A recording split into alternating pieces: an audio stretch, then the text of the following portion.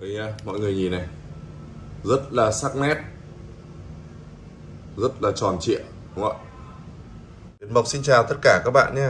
Hôm nay mình làm cái video nhanh nhanh ngắn ngắn thôi ạ. Anh em trong nghề nhìn phát cái này là biết luôn là gì rồi đúng không ạ? Đó, Nhìn phát là biết luôn rồi. Wow Rất tròn và sắc nét luôn.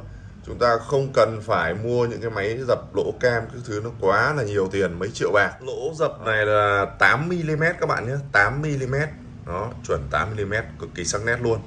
Thì cái lỗ 15 thì tới đây mình sẽ về. Cái cái cái cái kìm dập 15 này. Đó, để cho cái nắp cam tới đây thì mình sẽ về sau. Sau mình về mình sẽ update. Tại sao mình lại lại lấy cái mũi 8 nó vừa cái mũi khoan mồi hai tầng ấy, mà mình cũng hay bán ấy. Đó, các bạn có nhu cầu, bạn nào mà chưa có cái mũi khoan mồi đấy thì báo mình mình ship luôn. Cho, bán luôn cho, giá 45k đấy, mũi khoan hai tầng này. Đó, cái mũi đấy là 3 x 8 nhá.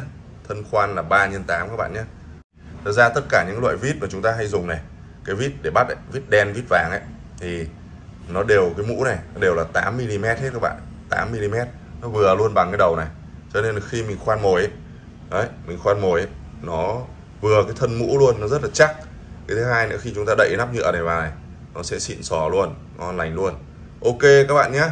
Rồi nói chung là mình làm nghề mà cho nên lấy đồ về phải đồ chất lượng cho anh em. Một like hàng của mình là hàng đóng hộp như này các bạn nhé. Đóng hộp xịn này chứ không phải hàng vỉ đâu. Hàng này đắt hơn. À, có một lò xo nữa đi kèm cho chúng ta này.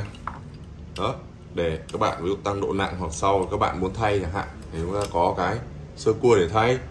Ok số điện thoại trên màn hình các bạn đừng gọi nhé nhắn tin nhé các bạn nhé. Số điện thoại trên màn hình hãy nhắn tin cho mình nhé đừng gọi bởi vì hàng ngày mình còn dạy học để tranh thủ cung cấp bán thêm cho mọi người thôi xin chân thành cảm ơn tất cả các bạn đã xem và ủng hộ Việt Mộc. Rồi, bye bye các bạn nha.